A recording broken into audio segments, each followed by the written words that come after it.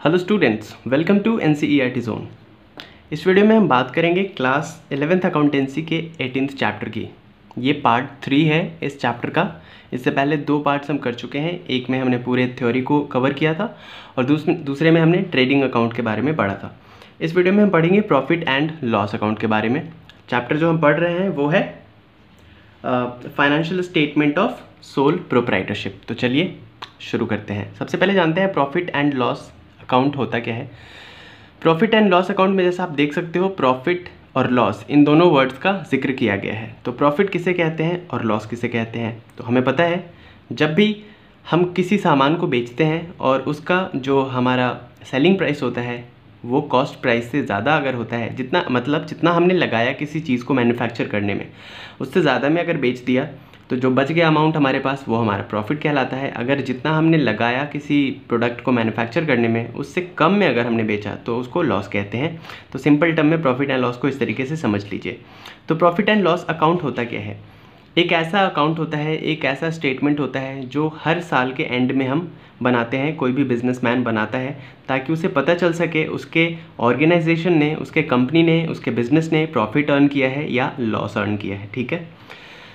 तो समझते हैं मीनिंग देखिए a profit and loss account is an account into which all gains and losses are collected in order to ascertain the excess of gains over the losses and vice versa profit and loss account ऐसे account को कहते हैं जिस account में जितने भी gains होते हैं, जितने भी लॉसेज होते हैं, उनको कलेक्ट किया जाता है, उनके बारे में लिखा जाता है। All indirect incomes and indirect expenses are transferred to profit and loss account जैसा जब हम ट्रेडिंग अकाउंट की जब हम बात कर रहे थे तो हमने देखा था कि ट्रेडिंग अकाउंट में जितने भी डायरेक्ट एक्सपेंसेस है या डायरेक्ट इनकम्स है, उसको हम लिखते थे ट्रांसफ़र करते थे।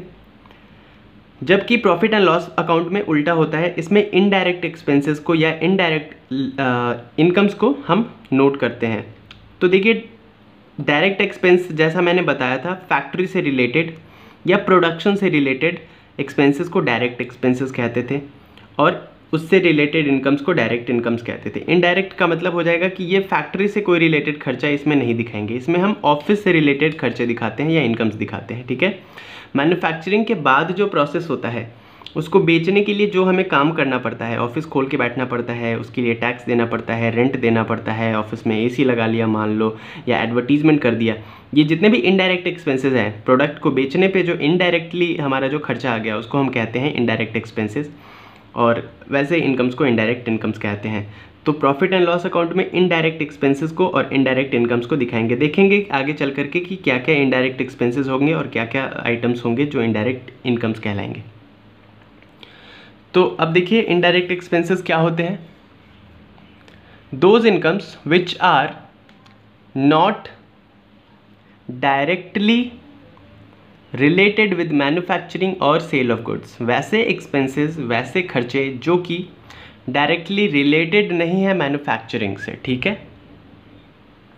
उसे इनडायरेक्ट एक्सपेंस कहते हैं, ठीक है? Those expenses which are not directly related with manufacturing or sale of goods. They include administrative, selling and distribution expenses.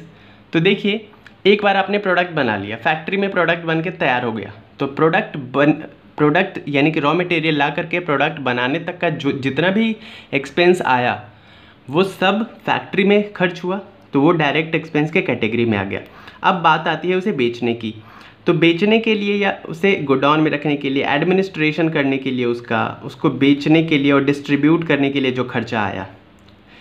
जैसे आपको सैलरी देनी पड़ी सेल्समैन को रेंट देना पड़ा ऑफ़िस का, या टैक्स देना पड़ा पोस्टेज और स्टेशनरी का खर्चा आ गया। पोस्टेज एंड स्टेशनरी का खर्चा कैसे आएगा? मान लीजिए आपने किसी को, किसने आपको ऑर्डर दिया?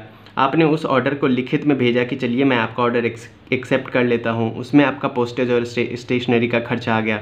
इंश्योरेंस आपने करवा रखा है प्रोडक्ट का। देन डेप्रिसिएशन हो रहा है आपकी मशीनरी का धीरे धीरे इंटरेस्ट पे करना पड़ रहा है, मान लीजिए आपने लोन ले रखा है या ऑफ़िस की लाइटिंग का खर्चा हो गया प्रोडक्ट के एडवर्टीजमेंट का खर्चा हो गया पैक करने का खर्चा हो गया। और बाहर ले जाने का खर्चा हो गया, बेचने के लिए जगह जगह कैरीज आउटवर्ड जिसे कहते हैं।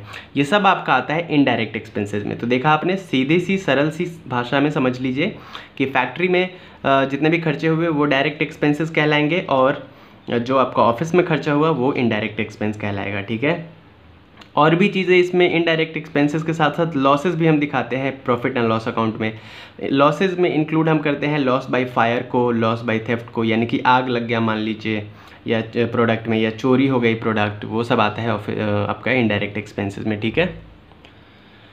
अब बात करते हैं इनडायरेक्ट इनकम्स की। तो इनडायरेक्ट इनकम्स क्या क्या हो जाएँगे? Those incomes which are not directly related with sale of goods फिर से वही बात है, जो फैक्ट्री से रिलेटेड इनकम नहीं है, उसको कहेंगे इनडायरेक्ट इनकम जैसे इंटरेस्ट आपने लोन दे रखा है किसी को उस पर इंटरेस्ट मिल गया, या आपने शेयर खरीद रखा है उस पर डिविडेंड मिल गया। प्रॉफिट हो गया, किसी फिक्स्ड एसेट को आपने बेचा उस पर प्रॉफिट हो गया तो ये कभी कभी नॉन रेकरिंग नेचर का होता है तो ये प्रॉफिट भी आपका इनडायरेक्ट इनकम हो गया और इन्वेस्टमेंट भी बेचने पे जो खर्च, आपका इनकम निकल के आता है सामने। मान लीजिए आपने कहीं इन्वेस्ट कर रखा है, उस इन्वेस्ट को आपने बेच दिया, उस इन्वेस्टमेंट को तो वो आपका जो इनकम आ गया, वो इनडायरेक्ट इनकम के कैटेगरी में आएगा और इसे आप दिखाते हो प्रॉफिट एंड लॉस अकाउंट के क्रेडिट साइड में। ठीक है? चलिए आगे बढ़ते हैं। फीचर अब बात कर लेते हैं फीचर्स की, कि प्रॉफिट एंड लॉस अकाउंट का फीचर क्या क्या होता है? क्या क्या विशेषताएँ हैं इस प्रॉफिट एंड लॉस अकाउंट की? देखिए। पहला है it is the second stage in the preparation of the final accounts second stage क्यों है? क्योंकि पहला स्टेज है ट्रेडिंग अकाउंट बनाना। ट्रेडिंग अकाउंट बनाने के बाद हम बनाते हैं प्रॉफिट एंड लॉस अकाउंट इसलिए ये सेकेंड स्टेज है। दूसरा it is prepared at the end of the period है ना? हर साल के एंड में हम बनाते हैं। तीसरा फीचर है it shows the financial performance of an enterprise during an accounting period एक अकाउंटिंग पीरियड में उस कंपनी ने, उस ऑर्गेनाइजेशन ने, उस एंटरप्राइज ने किस तरीके का फाइनेंशियल परफॉर्मेंस किया है? घाटे में चल रहा है या प्रॉफिट में चल रहा है? इसका इन्फॉर्मेशन हमें देता है प्रॉफिट एंड लॉस अकाउंट उसके अलावा accrual basis of account is accounting is followed in the preparation of this account accrued accrual basis का क्या मतलब है? अक्रूवल बेसिस का ये मतलब है कि जो इस साल का ट्रांजैक्शन होगा, वो इसी साल में लिख दिया जाएगा, भले ही वो पैसे मिले हो या ना मिले हो। मान लीजिए आपने प्रोडक्ट बेचा। हाँ मान लीजिए आपने सैलरी सैलरी आपको देना है किसी एम्प्लॉय को तो सैलरी आपको देनी है सैलरी आपने दी या नहीं दी, फिर भी आप इस साल में दिखाओगे, ठीक है? तो अक्रूवल बेसिस में यही होता है। कैश एक्सपेंस हो या ना हो, दिखाना पड़ता है। इस साल का अगर है तो इनकम आए ना आए, लेकिन आने वाला भी है तो भी दिखाना पड़ता है तो अक्रूवल बेसिस इसको कहते हैं। अगर आपने कॉन्सेप्ट पढ़ा होगा तो अक्रोल बेसिस आपको पता होगा। फिफ्थ फीचर है it is credited with the gross profit and income from trading account and debited with gross loss देखिए, पहला स्टेज क्या है? फाइनेंशियल अकाउंट बनाने का, सबसे पहले ट्रेडिंग अकाउंट बनाते हैं। तो ट्रेडिंग अकाउंट में अगर ग्रॉस प्रॉफिट आया है तो ग्रॉस प्रॉफिट को दिखाते हैं हम। प्रॉफिट एंड लॉस अकाउंट में ट्रांसफ़र करते हैं किधर? क्रेडिट साइड में। लेकिन अगर ट्रेडिंग अकाउंट में लॉस हुआ है तो उसे हम प्रॉफिट एंड लॉस अकाउंट के डेबिट साइड में दिखाते हैं। ठीक है? फिर से समझिए, अगर ग्रॉस प्रॉफिट हुआ है ट्रेडिंग अकाउंट में तो उस ग्रॉस प्रॉफिट को हम प्रॉफिट एंड लॉस अकाउंट के क्रेडिट साइड में ट्रांसफ़र कर देते हैं। लेकिन अगर ग्रॉस लॉस हुआ है ट्रेडिंग अकाउंट बनाते समय तो उस ग्रॉस लॉस को प्रॉफिट एंड लॉस अकाउंट के डेबिट साइड में ट्रांसफ़र कर देते हैं। क्यों ट्रांसफ़र करते हैं? पता होना चाहिए, क्योंकि नॉमिनल नेचर का होता है हमारा ट्रेडिंग अकाउंट या प्रॉफिट एंड लॉस अकाउंट तो प्रॉफिट एंड लॉस अकाउंट में जितने भी एक्सपेंसेस या लॉसेज होंगे, उनको डेबिट साइड में दिखाएँगे और जितने भी प्रॉफिट या इनकम्स होंगे, उसको क्रेडिट साइड में दिखाते हैं। नेक्स्ट फीचर है balance of this account is the net profit और नेट लॉस। जो बैलेंस निकल कर आता है लास्ट में, प्रॉफिट एंड लॉस अकाउंट का, वो या तो नेट प्रॉफिट होगा या नेट लॉस होगा। नेक्स्ट है, नेट प्रॉफिट और net loss directly affects the capital है ना? अगर प्रॉफिट एंड लॉस अकाउंट में नेट प्रॉफिट हो रहा है या नेट लॉस हो रहा है, वो डायरेक्टली कैपिटल को अफेक्ट करता है। अगर नेट प्रॉफिट हो रहा है तो कैपिटल इंक्रीज हो जाएगा। अगर नेट लॉस हो रहा है तो कैपिटल डिक्रीज हो जाएगा। क्लियर है? Okay okay. आगे बढ़ते हैं। पर्पज़ या नीड की बात करते हैं कि प्रॉफिट एंड लॉस अकाउंट हमें बनाना क्यों पड़ता है? क्या ज़रूरत है हमें बनाने की? तो देख लेते हैं पर्पज़ या नीड क्या है प्रॉफिट एंड लॉस अकाउंट बनाने की? सबसे पहला पर्पज़ है डिटरमाइन नेट प्रॉफिट और नेट लॉस सबसे पहले नेट प्रॉफिट या नेट लॉस जानने के लिए हम बनाते हैं प्रॉफिट एंड लॉस अकाउंट दूसरा पर्पज़ क्या है? Comparison comparison with previous year profit मान लीजिए 2020 का आपने अकाउंट बनाया। और इस साल का जो प्रॉफिट या लॉस निकल के आया, इस प्रॉफिट या लॉस को आप कंपेयर कंपेयर कर सकते हो 2019 के परफॉर्मेंस से। तो ये एक फ़ायदा हो जाता है ऑब्जेक्टिव ये भी रहता है प्रॉफिट एंड लॉस अकाउंट बनाने का कि हम अपने परफॉर्मेंस को, अपने काम करने के तरीके को और उसके रिज़ल्ट को कंपेयर कर सके अपने ही परफॉर्मेंस को पिछले साल से, ठीक है?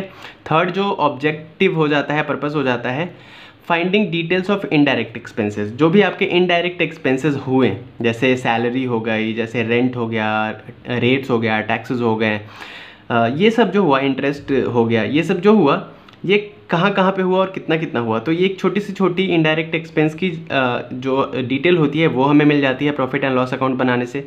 फोर्थ नीड क्या है? Helps in preparing balance sheet जब आप बैलेंस शीट बनाने जाते हो तो आपको पता होता है नेट प्रॉफिट या नेट लॉस कितना हुआ अगर आपने प्रॉफिट एंड लॉस बनाया होता है हो, होता है तो। उसके अकॉर्डिंग आप बैलेंस शीट में उस प्रॉफिट या लॉस को ट्रांसफ़र कर देते हो क्योंकि आपको पता है कि ये प्रॉफिट एंड लॉस का जो अमाउंट होता है वो आपके कैपिटल को क्या करता है? अफेक्ट करता है। चलिए। अब बात करते हैं प्रॉफिट एंड लॉस अकाउंट के परफॉर्मा की या फिर फॉर्मेट की कि किस तरीके का इसका फॉर्मेट होता है। ठीक है? तो देखिए, कुछ इस तरीके का होता है profit and loss account for the year ended यहाँ पे लिखा हुआ है। Debit side credit side particulars amount particulars amount okay debit side में सारे इनडायरेक्ट एक्सपेंसेस को दिखाएँगे और क्रेडिट साइड में सारे इनडायरेक्ट इनकम्स को और गेंस को दिखाएँगे। इधर इनडायरेक्ट एक्सपेंसेस को और लॉस को दिखाएँगे। तो देखते हैं क्या क्या है। सबसे पहले हमने क्या बनाया? सबसे पहला स्टेज में हमने ट्रेडिंग अकाउंट बनाया था। और ट्रेडिंग अकाउंट में जो हमारा लॉस हुआ अगर तो लॉस को डेबिट साइड में ट्रांसफ़र कर देंगे प्रॉफिट एंड लॉस अकाउंट को, और प्रॉफिट अगर हुआ होगा तो प्रॉफिट को क्रेडिट साइड में ट्रांसफ़र कर देंगे। तो सबसे पहली चीज़ तो हम ये करेंगे कि ग्रॉस प्रॉफिट या ग्रॉस लॉस को हम ट्रांसफ़र करेंगे profit sorry profit and loss account में। तो मान लेते हैं कि ग्रॉस लॉस हुआ था तो उसको हमने ट्रांसफ़र कर दिया डेबिट साइड में, ठीक है? To gross loss transferred from trading account उसके बाद क्या क्या चीज़ें हम इनडायरेक्ट एक्सपेंस के तौर पे दिखाएँगे डेबिट साइड में प्रॉफिट एंड लॉस अकाउंट के दिखाएँगे salaries to salaries to bad debts salary का क्या मतलब? कि एम्प्लॉय को सैलरी देना पड़ा। बैड डेट्स का मतलब होता है डूबा हुआ ऋण। मान लीजिए आपने किसी आ, किसी व्यक्ति को पैसे दे रखे थे आपके बिज़नेस ने। मान लीजिए किसी क्रेडिटर के पास आपका पैसा बकाया था। सॉरी किसी डेटर के पास आपका पैसा बकाया था वो आपको पैसे देने वाला था। बट वो क्या हो गया? इंसॉल्वेंट हो गया। मान लीजिए वो क्या हो गया? बिल्कुल ही कंगाल हो गया। तो वो आपको पैसे नहीं दे पाएगा। तो आप क्या समझोगे कि वो पैसा आपका डूब गया? तो डूब गया जो पैसा, वो कहलाता है बैड डेट्स तो बैड डेट्स आपके लिए एक तरीके से हो गया लॉस तो लॉस को आप किधर दिखाते हो? प्रॉफिट एंड लॉस अकाउंट के डेबिट साइड में। तो दूसरा अमाउंट हमने ये दिखा दिया। देन रेंट आपको देना पड़ रहा है। मान लीजिए ऑफ़िस आपने जहाँ पर स्टैब्लिश किया हुआ है, उसके लिए रेंट देना पड़ रहा है तो वो भी डेबिट साइड में जाएगा। To stationery and printing office में पेपर्स का काम होता है। पेन्स के लिए काम होता है और भी बहुत सारे स्टेशनरी से रिलेटेड सामान आपको ऑफ़िस में रखने पड़ते हैं तो वो सारे खर्चे आपके डेबिट साइड में आएँगे प्रॉफिट एंड लॉस अकाउंट के। Then to postage and telegrams मान लीजिए किसी कस्टमर को आपको पोस्ट करना पड़ गया या उसे टेलीग्राम करना पड़ गया तो इस पर जो खर्चा आया वो टू पोस्टेज एंड टेलीग्राम करके दिखा देंगे डेबिट साइड में। उसके अलावा to legal charges legal charges जैसे कुछ टैक्स वैक्स देना पड़ गया ऑफ़िस के लिए तो वो या प्रोडक्ट को के एडवर्टीजमेंट के लिए, कुछ भी हो सकता है लीगल चार्जेस तो वो भी आपको डेबिट साइड में दिखा देंगे। टू टेलीफोन एक्सपेंसेज ऑफ़िस है तो ऑब्वियस सी बात है कि उसमें टेलीफोन लगा होगा। तो टेलीफोन लगा होगा कस्टमर से बात करने के लिए, लोगों से डील करने के लिए, है ना, कॉन्ट्रैक्ट साइन करने के लिए। तो इन सब के लिए जितने भी टेलीफोन का खर्चा आता है, वो भी आपका डेबिट साइड में जाता है। देन टू इंश्योरेंस प्रीमियम मान लीजिए आपने इंश्योरेंस करवा रखा है ऑफ़िस का तो उसके लिए प्रीमियम आपको हर मंथ देना पड़ता है, वो अभी आपका जाएगा इनडायरेक्ट एक्सपेंसेस के तौर पे डेबिट साइड में। उसके अलावा टू इंश्योरेंस प्रीमियम हाँ हो गया। To business promotion expenses business promotion का क्या मतलब है कि आपने एडवर्टीजमेंट वगैरह करवा लिया, कहीं पर पोस्टर लगा दिया, कहीं पर होल्डिंग्स लगवा दी, इन सब का जो खर्चा आ गया, वो भी आपका आ गया डेबिट साइड में। To repairs and renewals. Repairs and renewals का मतलब है कि मान लीजिए आपने ऑफ़िस में एसी लगवा रखा था या कोई ऐसा मशीन लगा रखा था वाटर के लिए आरओ लगा रखा था तो इन सब के रिपेयर और रिन्यूअल का जो खर्चा आएगा वो भी डेबिट साइड में चला जाएगा। To depreciation. है ना मशीन वगैरह है तो हर साल डेप्रिसी डेप्रिसिएशन उसका लगता रहता है आ, कुछ ना कुछ अमाउंट का तो वो डेप्रिसिएशन भी आपका प्रॉफिट एंड लॉस अकाउंट में आता है डेबिट साइड में, क्योंकि ये भी तो एक तरीके से आपका खर्चा है एक्सपेंस है। टू इंटरेस्ट आपने कहीं से लोन ले रखा है, उस पर इंटरेस्ट आपको देना पड़ रहा है तो वो आपका टू इंटरेस्ट में, याद रखिएगा कि डेबिट साइड में जो इंटरेस्ट आएगा ना, वो इंटरेस्ट गिवेन होगा, आप दे रहे होगे। और अगर क्रेडिट साइड में इंटरेस्ट है तो वो इंटरेस्ट रिसीव्ड होता है। देन और क्या क्या आएगा डेबिट साइड में? टू सेंडरी एक्सपेंसेज छोटे मोटे खर्चे हो गए। टू कन्वेंस मान लीजिए कन्वेंस किसी को देना पड़ गया ठीक है? मान लीजिए आपने किसी को बुलाया काम करने के लिए ऑफ़िस में और उसने बोला कि, सर, मैं कन्वेंस भी लूँगा, मैंने आने जाने का खर्चा। वो भी आपका इनडायरेक्ट एक्सपेंस में आपका जुड़ जाएगा। टू बैंक चार्जेस बैंक जो चार्ज कर लेगी, वो डेबिट साइड में आ जाएगा। टू जनरल एक्सपेंसेस छोटे मोटे जनरल एक्सपेंसेस हो गए। To electricity expenses to loss by fire और थेफ्ट चोरी हो गई या आग लग गया, उसका भी खर्चा इनडायरेक्ट एक्सपेंसेस में आएगा। टू कमीशन कमीशन किसी को देना पड़ गया। मान लीजिए किसी ने आपका प्रोडक्ट बिकवाया। राम ने आपका प्रोडक्ट बिकवाया और उसने बोला था कि, आपने बोला था कि अगर तुम ये प्रोडक्ट बिकवा दोगे तो मैं क्या करूँगा? तुम्हें कमीशन दूँगा। तो वो कमीशन आपको देना पड़ा। वो भी इनडायरेक्ट एक्सपेंसेस में आएगा। उसके अलावा टू एडवर्टीजमेंट एडवर्टीजमेंट पे जो खर्चा आया, वो भी आ जाएगा डेबिट साइड में। To freight and carriage outward. Freight and carriage outward का मतलब है कि आपने सामान बनवा लिया, वो फैक्ट्री में रखा है या गोडाउन में रखा हुआ है। अब वो गोडाउन से बाहर ले जाना पड़ेगा ना बेचने के लिए तो वो जो बाहर ले जाओगे बेचने पे लिए, के लिए और सेलिंग पे जो खर्चा आएगा वो आपका आ जाएगा इनडायरेक्ट एक्सपेंसेस में। टू डिस्काउंट अलाउड आपने सामान बेचा और डिस्काउंट अलाउ कर दिया तो वो आपके लिए क्या होगा? डिस्काउंट जब आप देते हो तो आपका इनकम कम हो जाता है ऑब्वियसली बात है तो ये एक्सपेंस माना जाएगा आपका और ये आएगा डेबिट साइड में। टू ट्रैवलिंग एक्सपेंसेस ट्रैवल करना पड़ता है ना सामान वामान बेचने के लिए इधर से उधर तो इस, ये ट्रैवलिंग एक्सपेंसेस भी आएगा आपका इनडायरेक्ट एक्सपेंसेस में।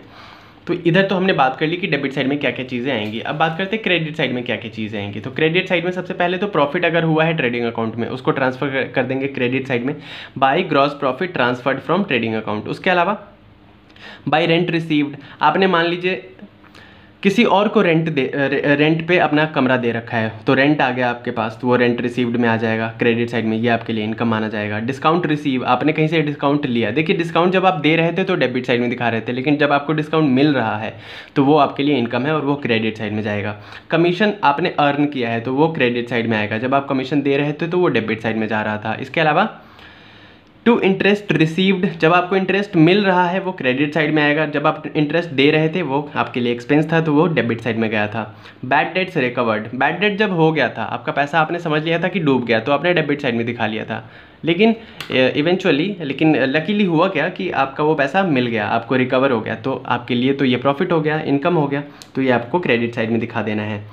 बाई इनकम फ्रॉम इन्वेस्टमेंट, आपने कहीं पे इन्वेस्टमेंट कर रखा है किसी और कंपनी में, उससे जो पैसा आपको मिलता है वो आपका जाएगा क्रेडिट साइड में। उसके अलावा बाई डिविडेंड ऑन शेयर मान लीजिए आपने किसी कंपनी का शेयर खरीद रखा है, उस पर डिविडेंड आपको मिला, वो भी जाएगा क्रेडिट साइड में।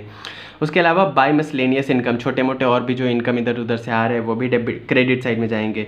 उसके अलावा बाई नेट लॉस हाँ अब देखिए, अब इतना अमाउंट आपने दिखा दिया, क्रेडिट साइड में इतनी चीज़ें आपने दिखा दी, डेबिट साइड में। और मान लीजिए कि आपका क्रेडिट साइड में तो आप इनकम दिखाते हो तो जब आपका क्रेडिट साइड ज़्यादा होता है, यानी कि इनकम ज़्यादा है और डेबिट साइड कम होता है, यानी कि जो आपका एक्सपेंस है वो कम है तो जब इनकम ज़्यादा होगा एक्सपेंस कम होगा, यानी कि क्रेडिट साइड ज़्यादा होगा और डेबिट साइड कम होगा। इसका मतलब ये है कि आपने प्रॉफिट कमाया है। तो अगर आपने प्रॉफिट अर्न किया है तो यहाँ पे नीचे जो बैलेंस आएगा, आपका बैलेंसिंग फिगर वो क्या आएगा? To net profit transfer to capital account आप जितने बैलेंस से आपका आया वो नेट प्रॉफिट वो बैलेंस आप यहाँ पे लिखोगे और कहाँ पे उसको ट्रांसफ़र करोगे? कैपिटल अकाउंट में, ठीक है? To net profit transfer to capital account और मान लीजिए कि अगर डेबिट साइड ज़्यादा हो गया और क्रेडिट साइड कम आ गया मतलब डेबिट साइड ज़्यादा यानी कि एक्सपेंस ज़्यादा है और इनकम कम है तो ऑब्वियस सी बात है लॉस हो गया तो लॉस भी कैपिटल अकाउंट में ट्रांसफ़र करोगे। By net loss transfer to capital account clear है? प्रॉफिट होगा तो कैपिटल अकाउंट आपका बढ़ जाएगा और लॉस होगा तो कैपिटल अकाउंट कम हो जाएगा। तो ये था format profit and loss account का। अब बात करते हैं हम क्लोजिंग एंट्रीज की, कि क्लोजिंग एंट्री किस तरीके से होगी। तो सिंपल सी बात है, जितने भी चीज़ें डेबिट साइड में दिखानी है तो उसकी एंट्री क्या हो रही है? देखिए सिंपल सी बात है profit and loss account debit to salary to bad debt to rent to stationery to postage to to legal charges to telephonic expenses and वगैरह वगैरह, ठीक है? वैसे ही जो क्रेडिट साइड में है, उसके लिए क्लोजिंग एंट्री क्या है? By rent received account debit discount received account debit commission earn account debit interest received account debit फलाना फलाना फलाना account debit to profit and loss account तो सिंपल सी बात है, इस तरीके से क्लोजिंग एंट्री यही है। तो क्लोजिंग एंट्री एक बार हम पढ़ भी लेते हैं, चलिए देखते हैं। Indirect expenses and losses are closed by transferring their balances to the debit of uh, side of profit and loss account. हमें पता है कि जितने भी एक्सपेंसेस होंगे या लॉस होंगे उनको हम प्रॉफिट एंड लॉस अकाउंट के डेबिट साइड में ट्रांसफ़र कर देंगे। तो एंट्री क्या हो जाएगी? जो हमने अभी किया था पीछे वही एंट्री है profit and loss account debit to salary account to rent account to interest account to advertising advertising account to bank interest account to bank charges account to miscellaneous expenses account and etcetera बहुत सारे जो भी expenses होंगे वो to to to करके लगते जाएँगे, ठीक है? तो ये हो गया डेबिट साइड में ट्रांसफ़र करने का क्लोजिंग एंट्री क्रेडिट साइड में ट्रांसफ़र करने का क्लोजिंग एंट्री क्या होगा? क्रेडिट साइड में क्योंकि हम इनडायरेक्ट इनकम्स को और इनडायरेक्ट गेंस को या प्रॉफिट्स को दिखाते हैं तो क्या दिखाएँगे? Interest received account debit discount received account debit bad debts recovered account debit miscellaneous incomes account debit to profit and loss account clear है? तो इन दोनों एंट्री से क्या हो जाएगा कि आपने डायरेक्ट डेबिट और क्रेडिट साइड में चीज़ें जो ट्रांसफ़र करनी थी, वो आपने ट्रांसफ़र कर दी है।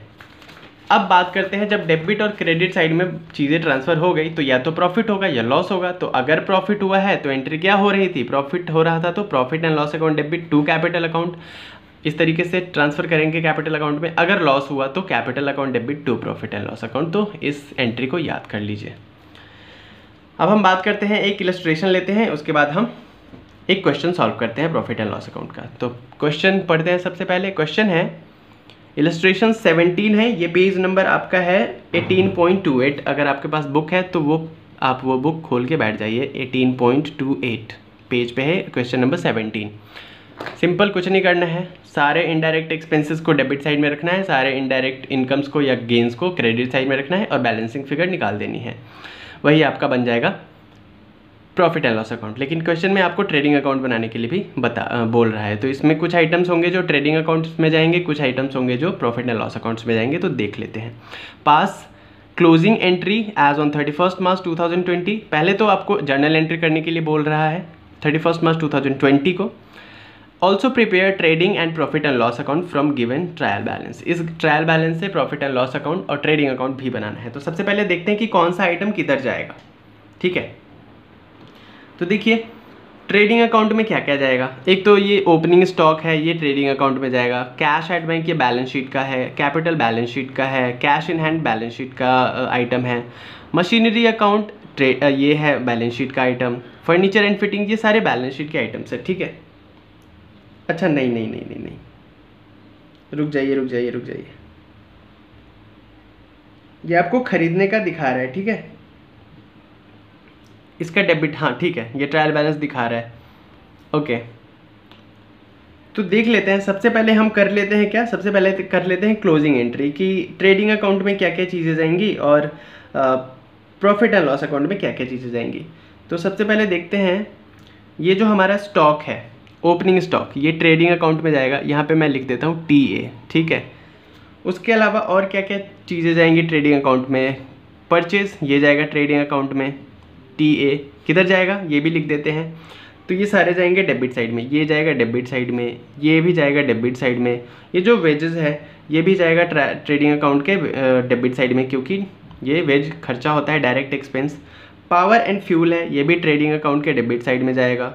फैक्ट्री लाइटिंग वगैरह है, ये भी ट्रेडिंग अकाउंट के डेबिट साइड में जाएगा, ठीक है?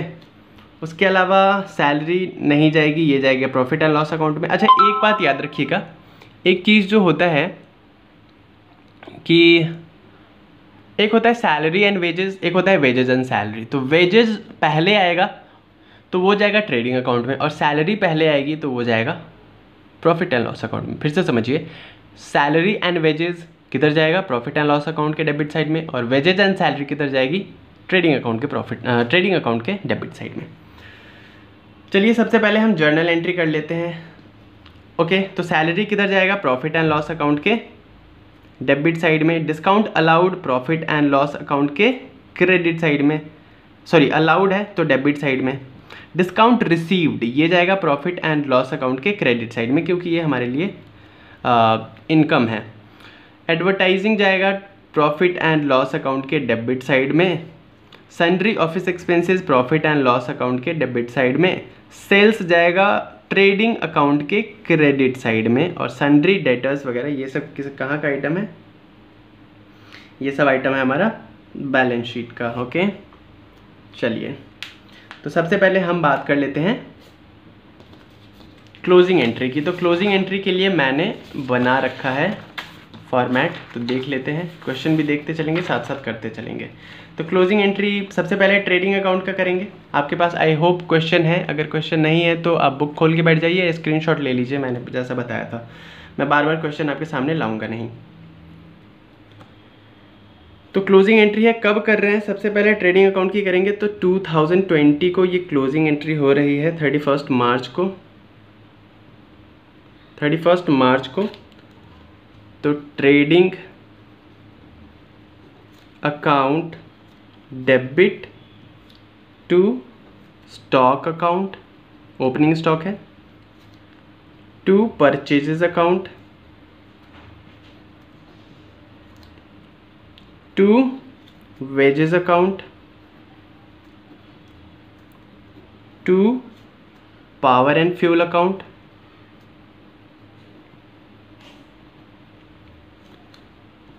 to factory lighting account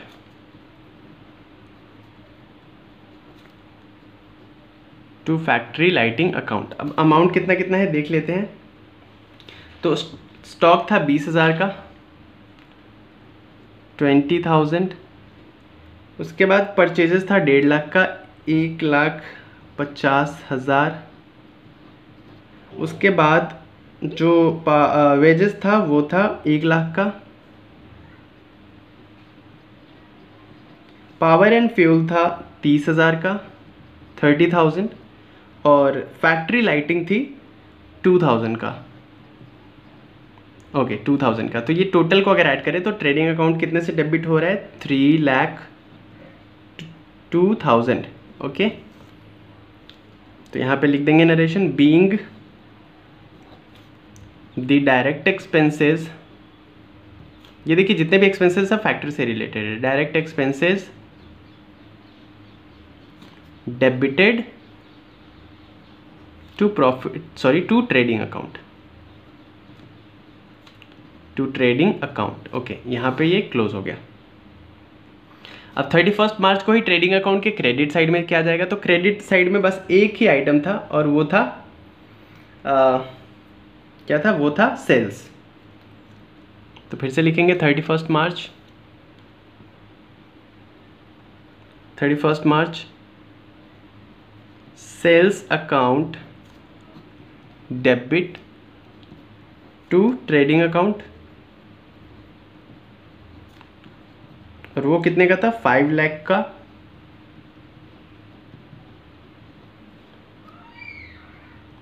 five lakh का। ओके। अच्छा एक और चीज़ यहाँ पे दिया गया था जो क्वेश्चन में मैंने हाँ यहाँ पे ट्रायल बैलेंस के बाहर दिया गया था closing stock twenty seven thousand का। तो क्लोजिंग स्टॉक भी किधर जाएगा? ट्रेडिंग अकाउंट के क्रेडिट साइड में, है ना? तो क्या हो जाएगा? Closing stock account debit to trading account. तो ट्वेंटी सेवन थाउज़ेंड का ये भी है तो ये भी लिख देते हैं। थर्टी फ़र्स्ट मार्च को ही closing stock account debit to trading account. Okay twenty seven thousand का। ट्वेंटी सेवन थाउज़ेंड अब अगर हम ऐड करें क्रेडिट साइड को तो आता है five lakh twenty seven thousand अगर डेबिट साइड को ऐड करें तो आता है three lakh two thousand clear है? तो यहाँ पे साफ़ दिख रहा है कि ट्रेडिंग अकाउंट का जो क्रेडिट साइड है, वो ज़्यादा है डेबिट साइड से। तो जब डेबिट साइड कम है और क्रेडिट साइड ज़्यादा है, यानी कि यहाँ पे प्रॉफिट का सीन बन रहा है तो जब प्रॉफिट होगा तो हम क्या जर्नल एंट्री पास करेंगे? Trading account debit to profit and loss account क्या करेंगे? इसी तारीख को हम करेंगे थर्टी फ़र्स्ट मार्च को ही trading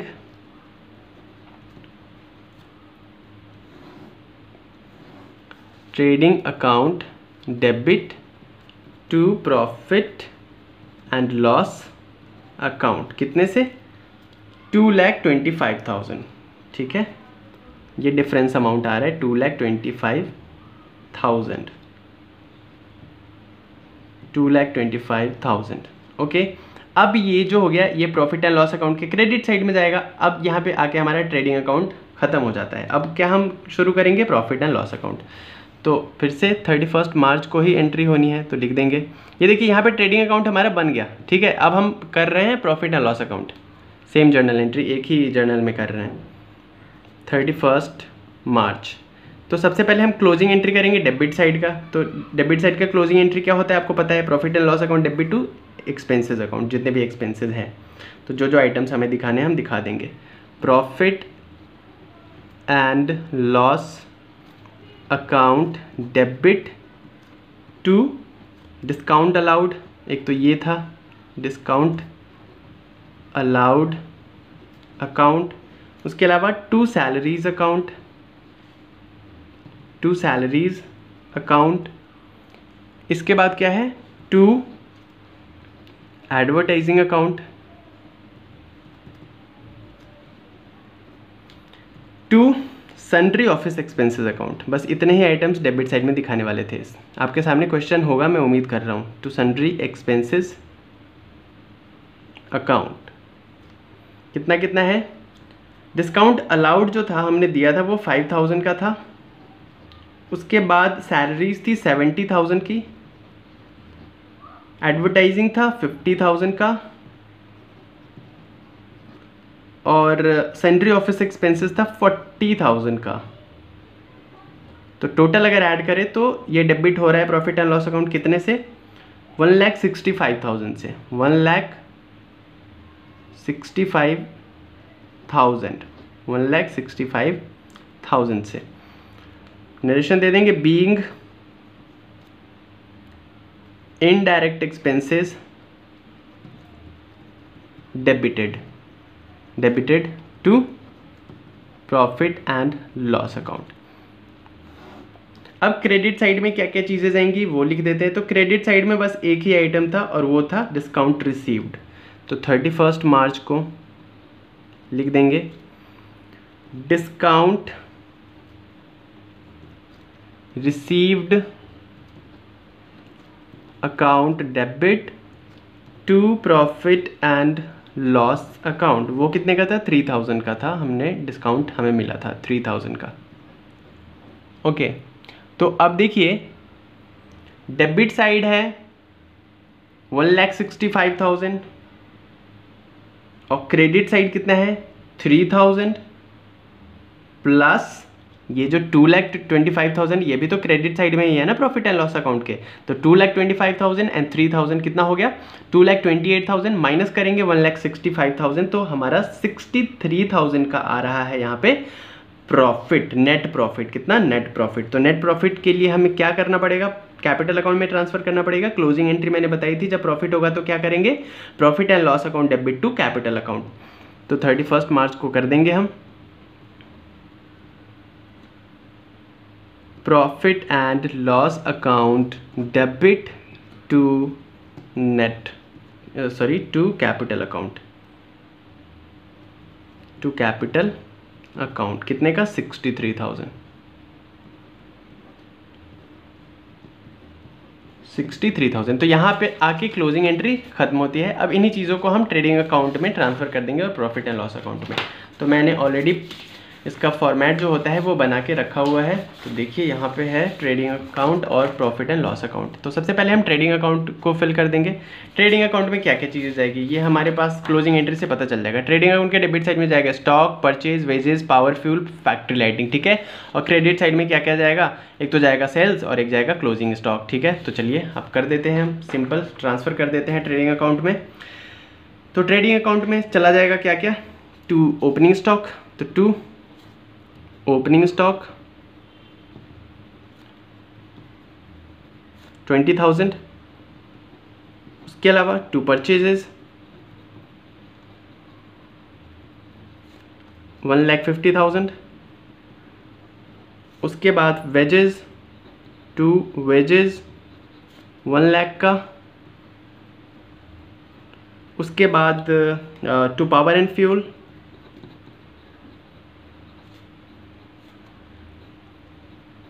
to power and fuel ये चला जाएगा थर्टी थाउज़ेंड का। उसके बाद to factory lighting to factory lighting ये था फोर्टी थाउज़ेंड का। आ, नहीं नहीं ये था आ, कितने का? थर्टी थाउज़ेंड का। माफ़ करिएगा माफ़ करिएगा ये था टू थाउज़ेंड का सॉरी टू थाउज़ेंड का। अब क्रेडिट साइड में क्या जाना था? तो हमें पता है एक तो क्लोजिंग स्टॉक जाना था एक सेल्स जाना था तो बाई सेल्स फाइव लाख का था।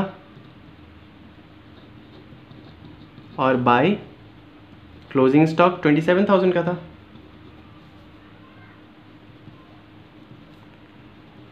ट्वेंटी सेवन थाउज़ेंड का। अब देखिए क्रेडिट साइड को अगर ऐड किया जाए तो ये आता है हमारा five lakh twenty seven thousand. और इन इन सबको अगर ऐड करें डेबिट साइड में तो ये यहाँ तक आता है हमारा, जो कि two lakh twenty five thousand से कम आता है। तो हमारा क्योंकि ग्रॉस प्रॉफिट हुआ था तो लिख देंगे to gross profit transferred to profit and loss account कितने से? Two lakh twenty five thousand अब यहाँ पे भी ऐड करेंगे तो five lakh twenty seven thousand आ जाएगा। तो इस तरीके से यहाँ पे हमारा ट्रेडिंग अकाउंट कंप्लीट हो गया। अब हम अब हम बात करेंगे प्रॉफिट एंड लॉस अकाउंट की। तो जो हमारा ग्रॉस प्रॉफिट हुआ है, उसको सबसे पहले हम ट्रांसफ़र कर देंगे क्रेडिट साइड में।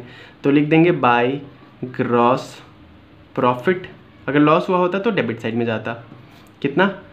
Two lakh twenty five thousand अब क्या क्या चीज़ें जानी है देख लीजिए क्लोजिंग एंट्री देख लेते हैं। प्रॉफिट एंड लॉस अकाउंट के डेबिट साइड में जाएगा to discount allowed salaries account advertising और सन्ड्री एक्सपेंसेस क्रेडिट साइड में क्या जाएगा? सिर्फ़ डिस्काउंट रिसीव्ड ठीक है? और उसके अलावा ये क्रॉस प्रॉफिट तो बाई डिस्काउंट रिसीव्ड हमारा इधर ही आना था। बाय डिस्काउंट रिसीव्ड वो कितने का? थ्री थाउज़ेंड का। अब डेबिट साइड में क्या क्या चीज़ें आनी देख लेती है, देख लेते हैं। तो सबसे पहले तो टू सैलरीज सेवेंटी थाउज़ेंड का। उसके बाद discount allowed discount allowed five thousand का। To advertising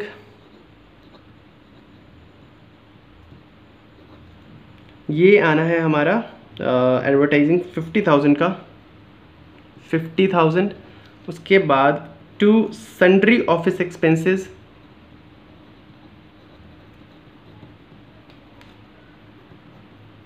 sundry office expenses है हमारा फोर्टी थाउज़ेंड का। बस इतना ही आइटम है। तो इधर का अगर हम ऐड करें टोटल तो आता है हमारा two lakh twenty eight thousand इधर ऐड करें तो आता है हमारा कम। कितने से? सिक्सटी थ्री थाउज़ेंड से तो सिक्सटी थ्री हमारा क्या हो जाएगा? टू नेट प्रॉफिट और इसको कहाँ ट्रांसफ़र करेंगे? ट्रांसफर्ड टू कैपिटल अकाउंट कितने का? सिक्सटी थ्री थाउज़ेंड अब इसको भी ऐड कर देंगे तो हो जाएगा two lakh twenty eight thousand तो यहाँ के हमारा प्रॉफिट एंड लॉस अकाउंट भी कंप्लीट हो गया। तो देखा किस तरीके से हमने प्रॉफिट एंड लॉस अकाउंट बनाया और किस तरीके से हमने ट्रेडिंग अकाउंट बनाया। तो आई होप आपको समझ में आ गया होगा। तो इस वीडियो में बस इतना ही रहने देते हैं। प्रॉफिट एंड लॉस अकाउंट हमने इस वीडियो में डिस्कस कर लिया। नेक्स्ट वीडियो में हम बात करेंगे बैलेंस शीट की। तो इतना ही इस वीडियो में। सब्सक्राइब कर दीजिए अगर नहीं किया है तो। साथ ही साथ हमें इंस्टा पे जाके फॉलो कर लीजिए। फेसबुक पे जाके हमारे पेज को लाइक कर दीजिए। और लाइक करिए। अगर अच्छा लगा तो कमेंट करके बताइए शेयर करिए। मिलते हैं। तब तक घर पे रहिए, सुरक्षित रहिए।